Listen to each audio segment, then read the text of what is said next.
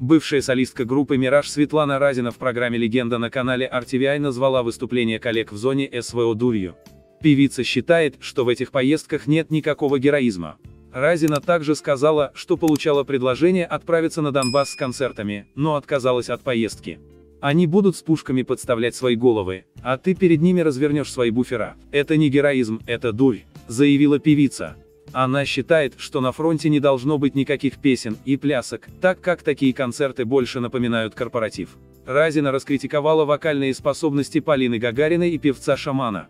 По словам певицы, ей больше нравится инстасамка, нежели Гагарина.